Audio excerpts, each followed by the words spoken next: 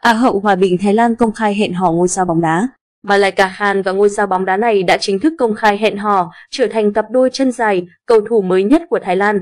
Sáng ngày 5 tháng 2, trang Chini đưa tin về việc Á hậu Hòa bình Thái Lan 2022 Malaika Khan công khai hẹn hò với cầu thủ bóng đá nổi tiếng Benjamin Davis của đội tuyển U23 nước này.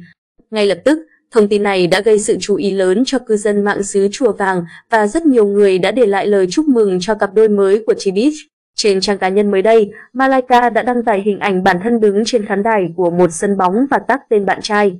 Đồng thời, người đẹp mang hai dòng máu Thái, Pakistan còn để lại dòng trạng thái su su, cố lên, kèm theo biểu tượng trái tim đỏ chót để cổ vũ cho nửa kia của mình. Đáp lại, ngôi sao của tuyển U23 Thái Lan cũng nhanh chóng để lại một trái tim đỏ dành tặng bạn gái, có phần xác nhận tình trạng mối quan hệ hiện tại của cặp đôi. Á hậu Hòa bình Thái Lan 2022 Malaika Khan xác nhận hẹn hò với cầu thủ bóng đá Benjamin Davis. Nàng hậu Tibis diện chiếc áo đấu có tên B. Davis và xuất hiện trên khán đài để cổ vũ cho bạn trai tại giải vô địch quốc gia Thái Lan.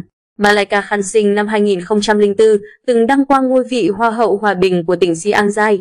Sau đó, với nhan sắc và tài năng nổi bật, cô nàng đã xuất sắc giành được vị trí Á hậu năm của cuộc thi Hoa hậu Hòa bình Thái Lan vào năm 2022.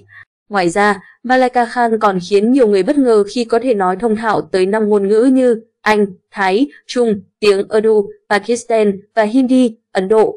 Benjamin David sinh năm 2000 là con lai mang hai dòng máu Thái Anh.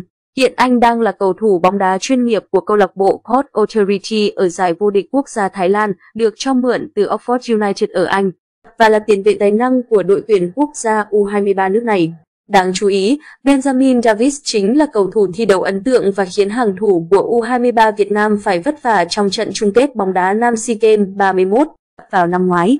Benjamin Davis là một trong những cầu thủ quan trọng đưa U23 Thái Lan đến trận chung kết môn bóng đá Nam SEA Games 31, nhưng cuối cùng phải chịu thất bại không một trước đội tuyển U23 Việt Nam. Chúc mừng cặp đôi mới của Chibit Malaka Khan, Benjamin Davis. Nguồn, Tini